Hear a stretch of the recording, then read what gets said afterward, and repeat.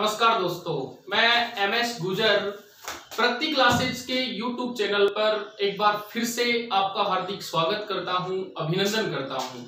जैसा कि दोस्तों विदित है कि हमने पिछले काफ़ी दिनों से राजस्थान जीके की जो क्लासे हैं, वो लगातार चला रखी हैं और इस राजस्थान जीके की जो क्लासे हैं उनमें हमने राजस्थान का सामान्य परिचय पढ़ा है और उसके बाद राजस्थान के भौतिक विभागों पर चर्चा कर रहे हैं। जैसा कि दोस्तों, पिछली क्लास में हमने राजस्थान का जो भौतिक विभाग है, उनका विभाजन किया। मुख्य रूप से चार भागों में।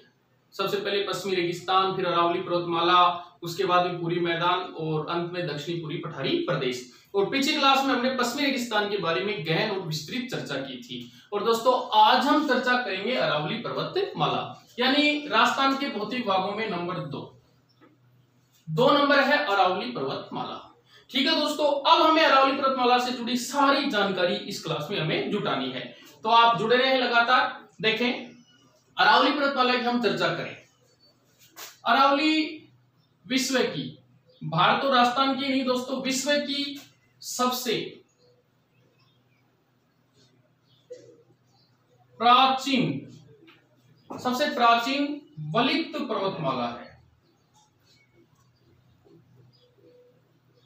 तो इस चीज़ का अपने को विशेष ध्यान रखना है। अरावली जो है, वो विश्व की प्राचीन वलित पर्वतमाला है। ठीक है? नवीन पूछ ले कि प्राचीन तो अच्छी बात है, अरावली है, पर नवीन पूछे तो हिमालय बता देना।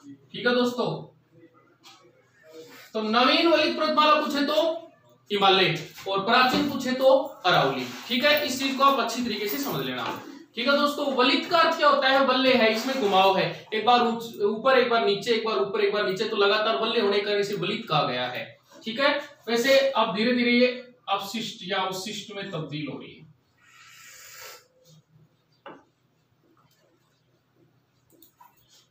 अवशिष्ट पर्वतमाला में तब्दील हो रही है, बदल रही है। अवशिष्ट पर्वतमाला में बदल रही है। कौन सी पर्वतमाला? अरावली पर्वतमाला। है कौन सी? प्राचीन वलित है। नई कौन सी है? हिमालय है। ठीक है साथियों, अब हम आगे चलते हैं। जो अरावली पर्वतमाला है, इसका उत्पत्ति काल, बहुत पुरानी है इसका इसका उत्पत्ति काल हमें पता होना चाहिए तो प्री कैम्ब्रियन युग। इसका जो उत्पत्ति काल है, वो प्री कैम्ब्रियन युग से माना गया है। प्री कैम्ब्रियन युग में इसकी उत्पत्ति हुई। यही कारण है कि विश्व की सबसे प्राचीन वलित पर्वतमाला है, जो धीरे धीरे अवशिष्ट में तब्दील हो रही है, बदल रही है और नवीन पर्वतमाला कौन सी है? हिमालय है दोस्तों। ठीक है? ध्यान रखना साथियों, अरावली जो पर्वतमाला है, इसकी औसत ऊंचाई। या उससे पहले हम बात करें कि अवशेष किसका है? तो प्राचीन गोडवाना लैंड का अवशेष है। बिल्कुल, हमें इजी वे में समझना है। प्राचीन गोडवाना लैंड का अवशेष है। पहाड़ी क्षेत्र पूरा का पूरा, जैसे अरावली और दक्षिणी पूर्वी पठारी प्रदेश, ये सारे गोडवाना लैंड के अवशेष हैं। पश्चिमी रेगिस्तान और रेगिस्तान में स्थित खारे पानी की झीलें हैं, वो सारे के सारे टेथिस सागर के अवशेष हैं। ठीक है दोस्तों, इसकी औसत ऊंचाई आपसे पूछे, एवरेज हाइट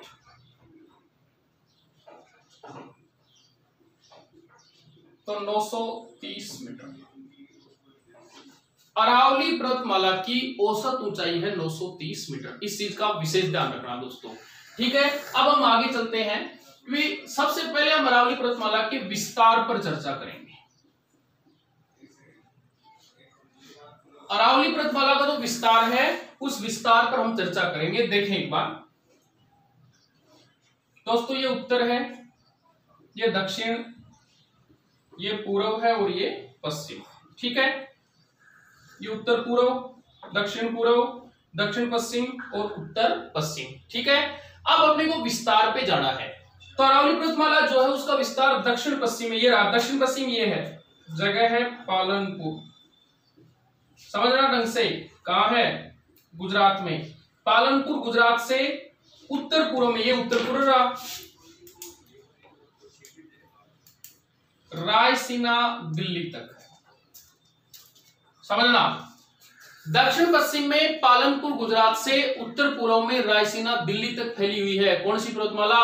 अरावली पर्वतमाला दोस्तों, समझ लेना। और यहाँ एक चीज़ मैं आपको और बता देता हूँ। गुजरात से शुरू हुई दिल्ली तक गई। कौन कौन से स्टेट क्लियर किए इसने? सबसे पहले गुजरात। गुजरात के बाद में राजस्थान, फिर हरियाणा और बाद में दिल्ली। गुजरात, राजस्थान, हरियाणा, दिल्ली चार स्टेट में फैली हुई है अरावली पर्वतमाला, जो पालनपुर, गुजरात से रायसीना, दिल्ली तक है। दोस्तों, जो महत्वपूर्ण बात है, मैं आपको बता देता हूँ, रायसीना, दिल्ली में अरावली पर्वतमाला का जो भाग है, जो पहाड़ियाँ, उन्हें रायसीना की पहाड़ियाँ कहा जाता है और इन्हीं रायसीना की पहाड़ियों पर भारत का राष्ट्रपति भवन बना हुआ है। बहुत इंपॉर्टेंट और परीक्षा उपयोगी बात मैं आपको बता रहा हूँ, समझा रहा हूँ, समझ लेना। दिल्ली में जो अरावली पर्वतमाला का भाग उसे क्या कहा जाता है? रायसीना की पहाड़ियाँ। ठीक है? और ये जो तो रायसेना की पहाड़ियाँ हैं, इनके ऊपर राष्ट्रपति भवन बना हुआ है और राष्ट्रपति भवन, समझना दोस्तों, भारत की सबसे बड़ी सबसे बड़ी आवासीय इमारत। ठीक है? भारत की सबसे बड़ी आवासीय इमारत है राष्ट्रपति भवन। राष्ट्रपति भवन कहा बना है? रायसेना पहाड़ियाँ, दिल्ली। रायसेना पहाड़ियाँ किसका अवशेष है? अरावली पर्वतमाला का। अब दोस्तों, यहाँ इजी में एक प्रश्न बनता है कि भारत की सबसे बड़ी आवासीय इमारत रायसेना की पहाड़ियाँ सॉरी राष्ट्रपति भवन है। तो राजस्थान की कौन सी है? ये देखें। तो राजस्थान की सबसे बड़ी आवासीय इमारत साथियों, ये रही।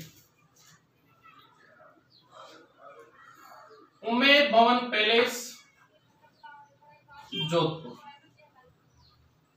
ठीक है? तो आपको कंफ्यूज नहीं होना है। अगर भारत की सबसे बड़ी आवासीय इमारत पूछे तो राष्ट्रपति भवन दिल्ली में और राजस्थान की सबसे बड़ी आवासीय इमारत पूछे तो उम्मेद भवन पैलेस जोधपुर में है दोस्तों, ठीक है? तो अभी अपनी विस्तार की बात कर रहे हैं। विस्तार कहाँ कहाँ है? गुजरात, राजस्थान, हरियाणा और दिल्ली। शुरुआत कहाँ से होती है? पालनपुर, गुजरात से और उत्तर में रायसीना, दिल्ली तक है।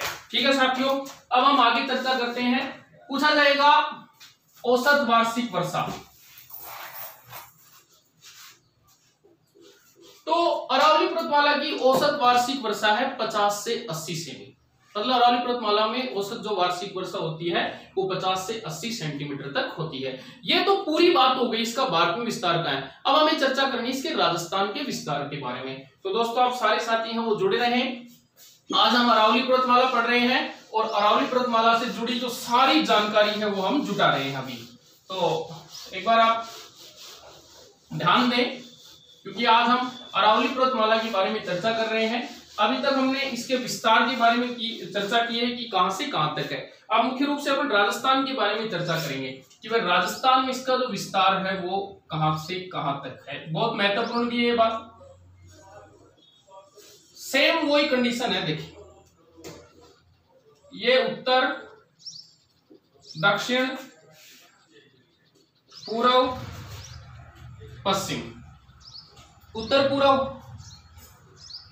दक्षिण पूर्व दक्षिण पश्चिम और उत्तर पश्चिम। ठीक है दोस्तों, अब दिशा वही रहेगी दक्षिण पश्चिम से उत्तर पूर्व पर हम राजस्थान की बात कर रहे हैं तो राजस्थान का एक जिला है सिरोही। ठीक है दोस्तों, खेड़ ब्रह्मा जगह ये। दक्षिण पश्चिम में सिरोही ज़िले से और उत्तर पूर्व में यही रहेगी सेम स्थिति इसकी। उत्तर पूर्व में झुंझुनू जिला और खेतड़ी तहसील। ठीक है दोस्तों, आप समझो दोबारा से। राजस्थान में अरावली पर्वतमाला का जो विस्तार है, वो दक्षिण पश्चिम में सिरोही ज़िले से उत्तर पूर्व में झुंझुनू ज़िले की खेतड़ी तहसील तक है। दोस्तों, फिर उसके बाद में आगे नारनौल, हरियाणा शुरू हो जाता है तो हरियाणा बाद में दिल्ली, ठीक है? इधर सिरोही से पहले गुजरात शुरू हो जाता है तो राजस्थान विस्तार सिरोही से लेकर झुंझुनू ज़िले की खेतड़ी तहसील तक है, ठीक है? अरावली पर्वतमाला की जो कुल लंबाई है कुल लंबाई है, वो है छह सौ बानवे किलोमीटर। ठीक है साथियों? और इसकी राजस्थान में जो लंबाई है, वो है 550 की। ये महत्वपूर्ण है दोनों चीज़ें। कुल लंबाई छह सौ बानवे, राजस्थान में कितनी? 550 ठीक है? और अरावली पर्वतमाला का राजस्थान में लगभग 80 प्रतिशत विस्तार है। ठीक है? राजस्थान में कितना विस्तार है? 80 प्रतिशत। अब राजस्थान के जिन जिन जिलों में अरावली पर्वतमाला फैली है, उसमें एक प्रश्न बनता है सॉरी दो प्रश्न बनते हैं। एक तो अरावली पर्वतमाला का राजस्थान में सर्वाधिक विस्तार। समझना दोस्तों, बहुत महत्वपूर्ण बात मैं आपको बता रहा हूँ। एक तो पूछा जाता है सर्वाधिक विस्तार, ठीक है? और एक पूछा जाता है न्यूनतम विस्तार, सबसे कम विस्तार इस ज़िले में तो सर्वाधिक विस्तार तो है उदयपुर में, ठीक है? और न्यूनतम विस्तार है अजमेर में।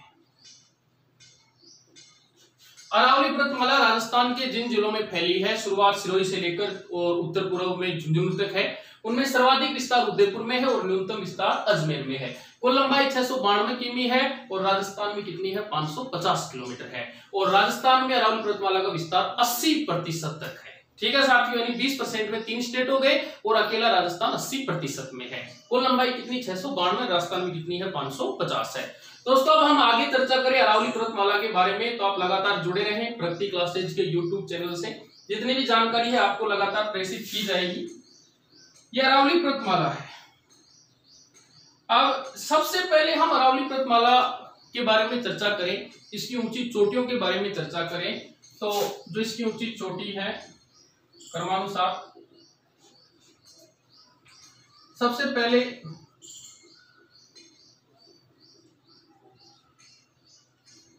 गुरु शिखर। दोस्तों, गुरु शिखर अरावली पर्वतमाला की सबसे ऊँची चोटी है, जिसका संबंध सिरोही से है, ठीक है? और इसकी ऊंचाई है 1722 मीटर।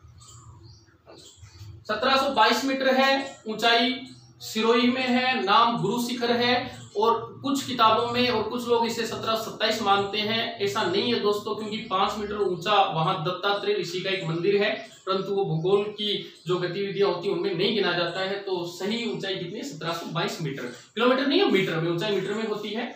और इसे कर्नल जेम्स टोड ने संतों का शिखर कहा था। संतों का शिखर। तो संतों का शिखर या गुरु शिखर 1722 मीटर सिरोही में है, अरावली पर्वतमाला की सबसे ऊँची चोटी है। ठीक है साथियों, अगला। नंबर दो, शेर। शेर भी सिरोही में है, ऊंचाई है पंद्रह मीटर। यह अरावली पर्वतमाला की दूसरी सबसे ऊँची चोटी है। क्रमानुसार आ जाए दोस्तों, तीसरी, देलवाड़ा। देलवाड़ा जो है दोस्तों, वो सिरोही में है। और इसकी ऊंचाई है चौदह मीटर। ठीक है तो देलवाड़ा तीसरे नंबर की हो गई, चौदह मीटर है, सिरोही में है। तीन हो गई गुरुशिखर शेर देलवाड़ा, नंबर चार, जरगा। जरगा उदयपुर में है। जरगा जो चोटी है, वो उदयपुर में है। और इसकी जो ऊंचाई है वो है दोस्तों 1432 मीटर 1442 और 1432 और अंतिम नंबर पाँच। गुरुशिखर, शेर, देलवाड़ा, जरगा और अंतिम अचलगढ़। और अचलगढ़ भी कहा है? सिरोही में है। ठीक है? अचलगढ़ सिरोही में है और इसकी ऊंचाई है तेरह सो अस्सी। ठीक है साथियों, दोबारा से एक बार चर्चा कर लेते हैं। कंफ्यूज बिल्कुल नहीं होना है। सबसे ऊँची गुरु शिखर सिरोही में 1722 उपनाम या तोड़ने का था क्या? संतों का शिखर। शेर सिरोही पंद्रह सत्तानवे। देलवाड़ा सिरोही चौदह सौ बयालीस। जरगा उदयपुर चौदह सौ बत्तीस। और अचलगढ़ सिरोही तेरह सौ अस्सी। ठीक है दोस्तों, तीन प्रकार के प्रश्न और पूछे जाते हैं। उत्तरी अरावली की सबसे ऊँची चोटी। उत्तरी अरावली की सबसे ऊँची चोटी पूछे तो शिखर झुंझुनू की तरफ़ होगी तो वो है रघुनाथगढ़। और रघुनाथगढ़ कहा है सिक्कर। ठीक है कंफ्यूज नहीं होना है, पहले बता रहा हूँ, फिर पूछेंगे मध्य अरावली की सबसे ऊँची चोटी। तो मध्य अरावली की सबसे ऊँची चोटी तारागढ़। और तारागढ़ कहा है अजमेर। दोबारा चर्चा करते हैं उत्तरी अरावली की सबसे ऊँची चोटी रघुनाथगढ़ सिक्कर। मध्य अरावली की सबसे ऊँची चोटी, तारागढ़, अजमेर और दक्षिण अरावली की सबसे ऊँची चोटी, गुरु शिखर सिरोही। तो अगर अलग अलग पूछे दक्षिण, मध्य और उत्तर तो भी आपको कंफ्यूज नहीं होना है। तो दोस्तों, ये थी अरावली पर्वतमाला की ऊँची चोटियाँ। अब हम आगे भी चर्चा करें इससे रिलेटेड बहुत सारी जानकारी है जो अरावली पर्वतमाला के बारे में है। सारी जानकारी आज हम जुटाने वाले हैं दोस्तों। तो आप तो लगातार जुड़े रहें और यहाँ से जो आपको सेवाएँ उपलब्ध करवाई जा रही हैं, उनका जमकर लाभ उठाएँ, उनका लुत्फ उठाएँ। घर में रहें, कोरोना को मात देते रहें दोस्तों। अब आगे हम अरावली पर्वतमाला के बारे में चर्चा करें तो अरावली जो पर्वतमाला है, इसमें हम दक्षिण पश्चिम से और अगर उत्तर पूर्व की ओर जाते हैं। समझ रहे हो ना? देख लेना एक बार।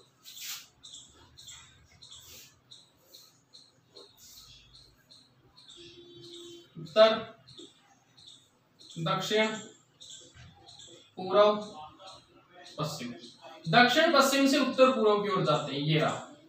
गुजरात से दिल्ली की तरफ़ जाते हैं। तो इसके आकार, विस्तार और ऊंचाई में क्या होती है? कमी। ठीक है दोस्तों? पर मान लो, अपन उत्तर पूर्व से और दक्षिण, पश्चिम की ओर आते हैं। वापस आते हैं दिल्ली से गुजरात की ओर। तो इसका आकार, विस्तार और ऊंचाई में क्या होती है? वृद्धि होती है। बात भी बिल्कुल सही है, क्योंकि हमने अभी जस्ट ऊँची चोटियों के बारे में चर्चा की है तो सर्वाधिक उच्च चोटियाँ सिरोही में, उसके निकट पड़ोसी उदयपुर में, और अरावली का सर्वाधिक विस्तार भी उदयपुर ज़िले में है। तो जो जो हम उत्तर पूर्व की ओर जाए तो कमी होगी, और उत्तर पूर्व से दक्षिण पश्चिम की ओर आएँगे तो उसमें वृद्धि होगी। तो ये चीज़ आप क्लियर कर लेना दोस्तों। अगली बात हम करते हैं। जो अरावली पर्वतमाला है, इसमें जो रासमंद जिला है, वहाँ पहाड़ियों के ऊपर खाबड़ ढाल है। जिन्हें भाकर कहा जाता है। तीव्र और ऊपर खाबड़ ढाल है पहाड़ियों की उन्हें भाकर कहा जाता है। कहा? रासमंद ज़िले में। ठीक है दोस्तों अब हम थोड़ा सा आगे बात करें कि अरावली पर्वत वाला है इसमें उदयपुर। और उदयपुर के आसपास का क्षेत्र पहाड़ियों से घिरा तस्त्री नुमा है। पहाड़ियों से घिरा तस्त्री नुमा है जिसे गिरवा कहा जाता है। उदयपुर के आसपास का क्षेत्र पहाड़ियों से घिरा होने के कारण तस्त्री नुमा होने के कारण क्या कहलाता है? गिरवा प्रदेश के नाम से जाना जाता है। ठीक है दोस्तों, अरावली पर्वतमाला में रागा रागा राजसमंद में है और जरगा जरगा उदयपुर में है। दोनों के मध्य का पहाड़ी क्षेत्र देशन हरो कहलाता है। बहुत महत्वपूर्ण है। रागा और जरगा के मध्य का पहाड़ी क्षेत्र क्या कहलाता है दोस्तों? देशन हरो कहलाता है। और अरावली पर्वतमाला में जो दर्रे पाए जाते हैं, उन्हें नाल कहा जाता है। अरावली पर्वतमाला में पाए जाने वाले दर्रों क्या कहते हैं? नाल। परंतु पूछा जाए नाली तो गंगानगर और हनुमानगढ़ जिलों में घग्गर नदी का प्रवाह क्षेत्र नाली कहलाता है दोस्तों। ठीक है? अब कुछ मुख्य दर्रे हैं अरावली पर्वतमाला में, जिनके बारे में हम चर्चा कर लेते हैं। कौन कौन से दर्रे हैं? महत्वपूर्ण भी हैं वृक्ष उपयोगी भी हैं। तो देखें दोस्तों एक बार। यह है बर दर्रा। ठीक है? और ये है देसुरी की नाल देख लें एक बार। फिर है हाथी नाल, केवड़ा की नाल, सादड़ी की नाल हाथीगुड़ा सोमदेव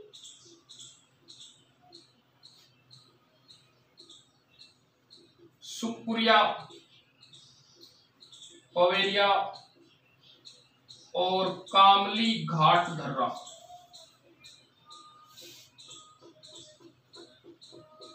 समझे दोस्तों, ये कुछ मुख्य दर्रे हैं। दर्रे क्या है? अरावली पर्वतमाला में पाए जाने वाले दर्रों क्या कहा जाता है? नाल कहा जाता है। सबसे पहले बर दर्रा, ये है ब्यावर और पाली दोनों में। ब्यावर अजमेर में है दोस्तों, ध्यान रखना। ब्यावर और पाली दोनों में है। देसुरी की नाल का संबंध पाली से है। आप समझना। हाथी नाल, केवड़ा की नाल, सादड़ी की नाल हाथीगुड़ा सोमदेव। ये जो सारे के सारे दर्रे हैं, ये उदयपुर में है। तो कंफ्यूज होने की कतई आवश्यकता नहीं है। सुखपुरिया पवेरिया दोनों का संबंध ही ब्यावर से है। और ब्यावर कहा है? अजमेर में। ठीक है? और कामली घाट जो दर्रा है, ये पाली और राजसमंद दोनों में। कामली घाट दर्रे का संबंध पाली और राजसमंद दोनों से है। सुखपुरिया पवेरिया ब्यावर अजमेर में है, सोमदेव हाथीगुड़ा, सादड़ी की नाल केवड़ा की नाल हाथी नाल, ये सारे उदयपुर में है दोस्तों। देसुरी की नाल का संबंध पाली से है और बर दर्रा ब्यावर पाली में स्थित है। ब्यावर में और पाली, क्योंकि ब्यावर कहाँ है? अजमेर में है दोस्तों। ठीक है, हम अरावली पर्वतमाला पढ़ रहे हैं राजस्थान के भौतिक भागों में नंबर दो। और बहुत सारी जानकारी हमने जुटाई है आज की क्लास में दोस्तों, और कुछ चीज़ें अभी और भी बाकी हैं, क्योंकि आज की जो क्लास इसमें हमें अरावली पर्वतमाला के बारे में जितनी भी जानकारी है, वो सारी जुटानी है। यानी इसको क्लियर करना है। देखो दोस्तों, हम बात करें तो अरावली पर्वतमाला है वो सांबर झील के पश्चिम से गुजरती है। ये प्रश्न परीक्षाओं में आता है। सांबर झील के पश्चिम से गुजरती है। ठीक है? इसका मतलब सांबर झील इसके पूर्व में स्थित है। पहली बात। अरावली पर्वतमाला में कुल सड़सठ प्रकार के खनिज पाए जाते हैं। अरावली पर्वतमाला में कुल खनिज कितने प्रकार के पाए जाते हैं? सड़सठ प्रकार के पाए जाते हैं। ठीक है दोस्तों? अरावली पर्वतमाला में वृक्षारोपण का कार्य किया जा रहा है, जो कांटेदार पेड़ थे, उनको हटा करके फलदार और छायादार पेड़ लगाए जा रहे हैं और ये काम कर रही है जापान की company, O C F Japan की ओ सी एफ़ कंपनी के द्वारा ये काम किया जा रहा है। क्या? अरावली पर्वतमाला जो है, उसमें वृक्षारोपण का कार्य हो रहा है। ठीक है दोस्तों? अरावली जो पर्वतमाला है, इसके पश्चिम में तो राजस्थान के बारह ज़िले। ठीक है? और पूर्व में राजस्थान के 21 ज़िले। तो कुल ज़िले कितने हो गए? तैतीस। अपने से कोई पूछे क्योंकि ये बात राष्ट्रीय कृषि अनुसंधान परिषद ने फिक्स की है। कि अरावली पर्वतमाला के पश्चिम में तो बारह और उत्तर में कितने? सॉरी, पूर्व में कितने? इक्कीस। तो कुल कितने हो गए? तैतीस। एक अरावली पर्वतमाला महान जल विभाजक का कार्य भी करती है दोस्तों। इसको भी समझना। महान जल विभाजक का कार्य कैसे करती है? देखें एक बार।